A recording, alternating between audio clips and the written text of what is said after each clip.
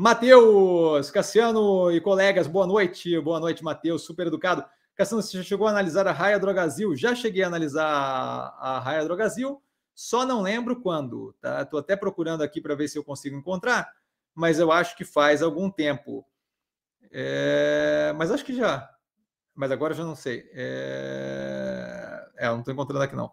Tá? É possível que sim, é possível que não. Agora, agora já não sei. Tá? Estou perdido, não, não saberia dizer. Tem que procurar no canal, tá? Para procurar no canal, no canal ali tem como procurar direto dentro do canal. Mas se você não consegue, no YouTube, se você digitar lá a visão do estrategista e o ticker, o código da Raia do Brasil, você vai encontrar se tiver. Agora eu honestamente não sei se, se, se eu já analisei. Tá? Ele continua. Tem algum comentário sobre o ativo? Um abraço. Grande abraço. É, então, não é sobre o ativo que eu tenho comentário, é sobre o setor como um todo, tá? Deixa eu só dar um gole de água aqui. No caso do setor de varejo farmacêutico, a gente tem uma dinâmica de negócio ali que não é que eu acho mais agradável, tá? É varejo, então você trabalha, é varejo é bem competitivo, certo? Então você trabalha com margem muito apertada, de modo que qualquer oscilação ali é, mais ou menos positiva, acaba causando redução de margem, possivelmente prejuízo e por aí vai. Então, assim, não, não, não, não é uma coisa que tem uma, tem uma estabilidade muito tênue ali do positivo para o negativo. Isso me incomoda. Segundo ponto, é extremamente competitivo e não tem muito como se distanciar do competidor do lado, certo?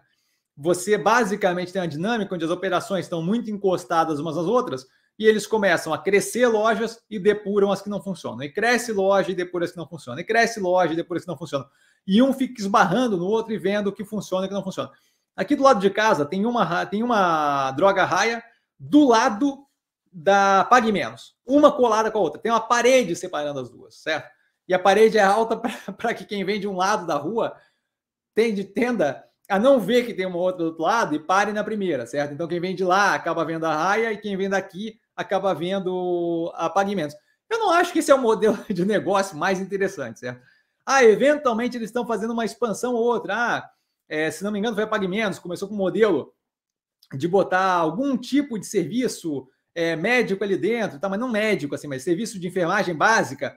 É interessante, mas uma vez que aquilo ali dá certo, é que nem a parada do entrega online, certo? É compra online.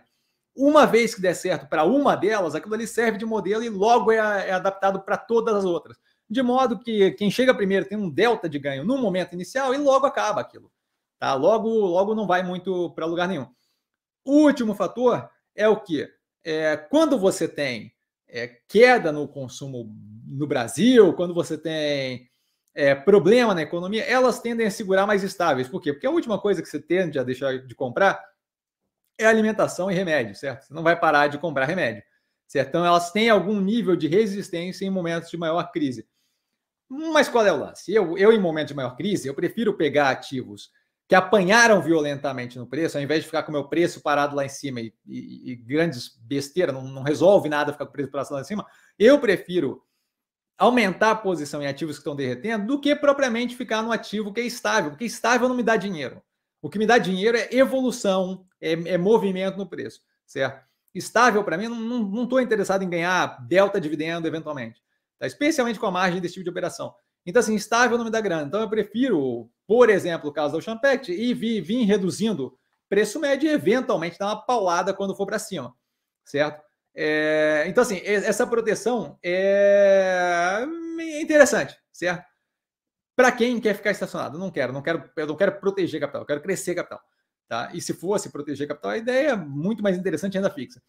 É, o, o, ponto qual é? O ponto é que nesse momento, como você não tem esse, ao mesmo tempo que você não tem essa redução de consumo de remédio, quando tem um estouro, quando a coisa melhora, quando os juros caem, ninguém fala, pô, aumentou meu salário, agora a inflação acabou, os juros baixou, eu vou tocar o dinheiro em dipirona, certo? Não é bem assim que funciona.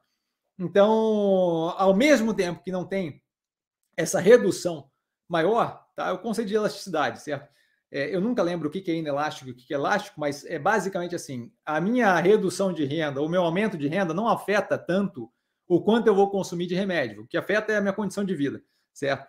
De modo que quando eu tenho estouro, quando eu tenho esse momento agora de inflexão, quando começa a mirar para positivo, ali também não vai ter um grande benefício. Por quê? Porque eu não vou comprar mais de Virona ou mais Benegripe, porque eu estou com mais dinheiro sobrando.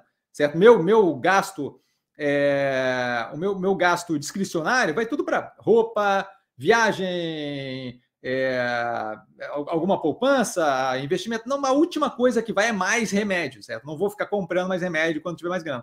Então, assim, não sei se dá para entender, mas assim, a, a, dinâmica do setor como um todo não é algo que me atrai, certo? Não é algo que me chama atenção, tá? Então, basicamente isso.